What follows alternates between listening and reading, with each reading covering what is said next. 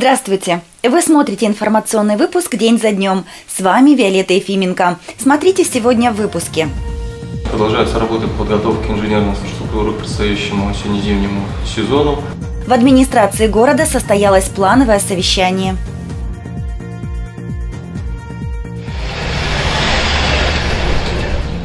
Сводка криминальных происшествий за неделю. Создателями этих чудес будут самые юные, самые замечательные, самые талантливые. Это вы, наши дети. Международный фестиваль детского творчества «Зажги свою звезду» прошел в Десногорске. Мы хотим напомнить людям, что есть такое заболевание, что с ним надо бороться. Хочешь жить – живи. Международный день памяти жертв, погибших от СПИДа. Семья из поселка Якимовичи Рославского района больше месяца живет в теплице. Вместо огурцов и помидоров в парнике стоит кровать, вешалка с вещами и обеденный стол. В таких условиях после пожара живет семья Сизенцовых. Их дом сгорел еще в апреле, и причина пожара не установлена. Во время происшествия женщина с мужем находились дома и, заметив языки пламени, вызвали пожарных. Но спасти дом и большую часть вещей не удалось. Решить вопрос с временным жильем им долгое время не удавалось. Произошедшим заинтересовался губернатор Смоленской области Алексей Островский и взял ситуацию под свой личный контроль. Увидев, в каких нечеловеческих условиях живут люди, он поручил профильным ведомствам оказать семье финансовую поддержку и помощь с материалами для строительства. Также им будет предоставлено временное жилье. 21 мая глава города Андрей Шубин провел рабочее совещание с представителями городских структур. Собравшиеся подвели итоги за прошедшую неделю и обсудили ближайшие планы. Продолжаются работы по подготовке инфраструктуры города к осенне-зимнему сезону. Очередное обслуживание трубопроводов магистральных тепловых сетей завершено. Подача горячей воды восстановлена в четвертом и шестом микрорайонах. Из-за дальнейших ремонтных работ водоснабжение будет ограничено во втором микрорайоне. Планируем остановить горячее водоснабжение второго микрорайона для проведения гидравлических испытаний квартальных э, тепловых сетей второго микрорайона. Председатель Комитета имущественных и земельных отношений сообщила об обеспечении детей-сирот жильем. За последний период для юных горожан было приобретено три однокомнатные квартиры. Анонс мероприятия озвучила главный специалист по культуре, спорту и молодежной политике. Ольга Ковалева сообщила о предстоящем едином дне велопарадов в России. Старт мероприятия в Десногорске состоится 26 мая от скульптурной композиции «Добрый ангел». И 27 мая в 18.00 в Центре культуры молодежной политики в первом микрорайоне состоится юбилейный концерт э, коллектива «Калибри». В целом атмосфера в городе благополучная. Все организации работают в плановом режиме. Виолетта Ефименко, Виталий Степанов, Светлана Разганова, Десна ТВ. Сафоновский районный суд приговорил бывшего депутата областной думы, экс-руководителя завода «Авангард» Константина Горелова к пяти годам и трем месяцам лишения свободы. Также суд принял решение взыскать с подсудимого штраф в размере полутора миллиона рублей. Константин Горелый обвиняется в растрате денежных средств крупного завода, на котором ведется выпуск изделий для ракетно-космической техники. Деньги он использовал для коммерческого подкупа. Выявили данное преступление сотрудники ФСБ в ходе оперативной оперативно-розыскных мероприятий. По предварительным данным, подсудимый планирует обжаловать судебный вердикт. Задержан Константин Горелый был еще в июле 2018 года. О криминальной обстановке в городе расскажет руководитель группы по работе с личным составом ОМВД России по Десногорску Сергей Чулков.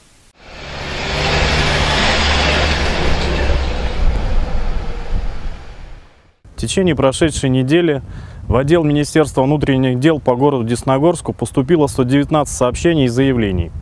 Четыре преступления, из которых два раскрыто.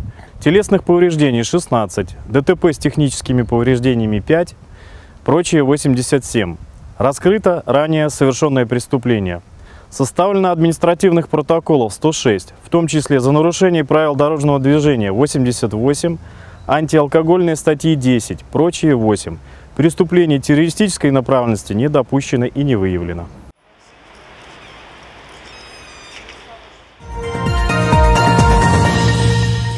Начало рабочей недели для смоленских полицейских было по-настоящему жарким. В конце рабочего дня 20 мая в различные дежурные службы города поступили многочисленные анонимные сообщения о минировании торговых центров и социальных объектов.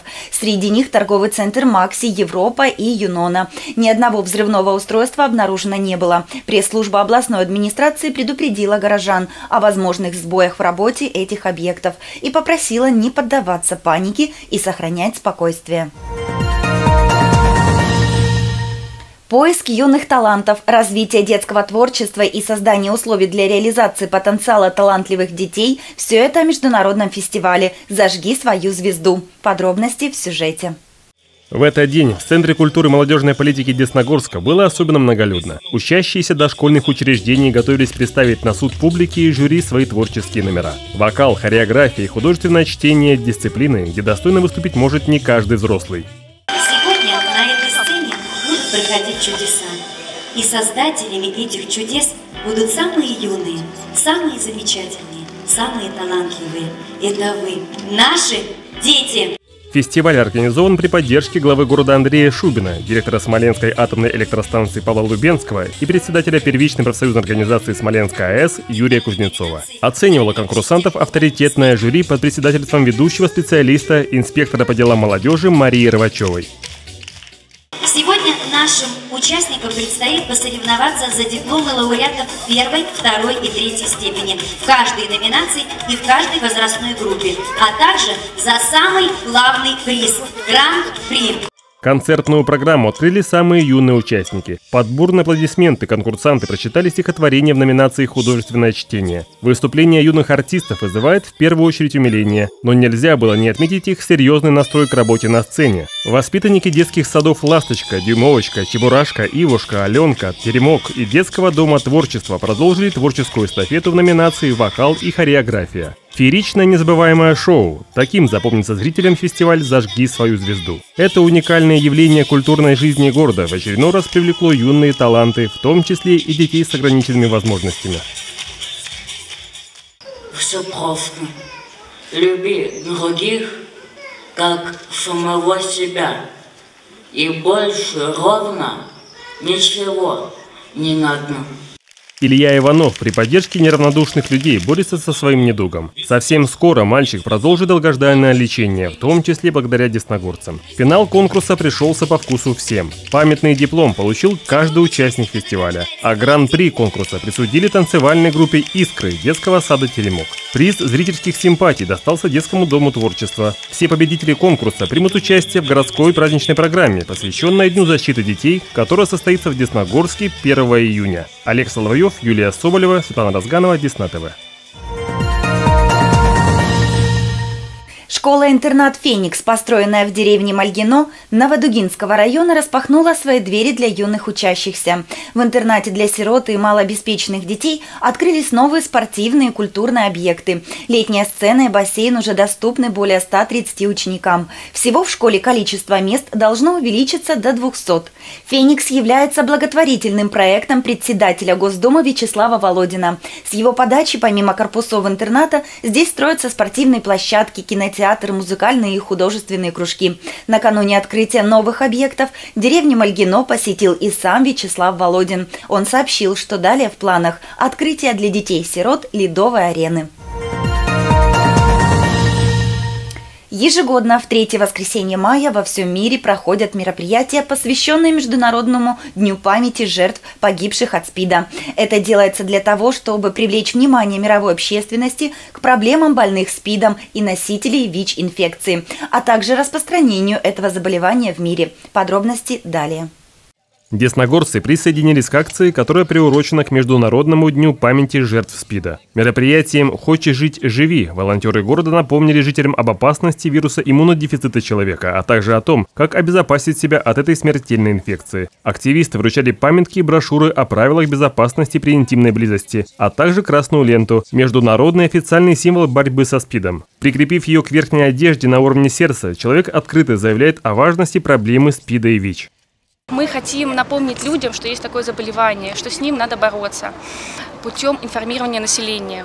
Также мы сегодня будем раздавать информационные буклеты, э, в которых мы будем рассказывать о проблемах ВИЧ-СПИД, какими путями он передается.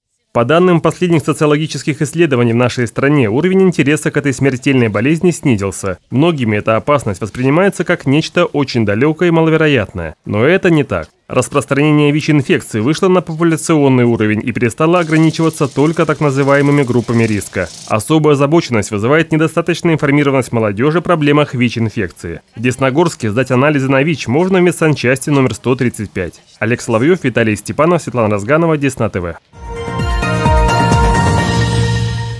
Депутаты Смоленской областной думы поддержали федеральную инициативу о внесении изменений в одну из статей Жилищного кодекса Российской Федерации. Теперь, после того, как состоится общее собрание собственников жилья в многоквартирных домах, все решения, принятые на собрании, будут заноситься в государственную информационную систему ЖКХ. Напомним, что в настоящее время оригиналы документов жильцы отдают в контролирующие надзирательные органы, и забрать их оттуда в случае надобности зачастую не удается. Но после внесения документов в систему ГИС их легко можно будет найти в случае необходимости. И коротко о погоде. 23 мая в Десногорске ожидается переменная облачность, временами грозы. Температура днем до плюс 22 градусов тепла, ночью 14. На этом выпуск завершен. Больше интересного на нашем сайте desnadefistv.ru, а также в наших официальных группах в социальных сетях ВКонтакте, Одноклассниках, Фейсбуке и Инстаграм. С вами была Виолетта Ефименко. Всем хорошего настроения и только позитивных новостей.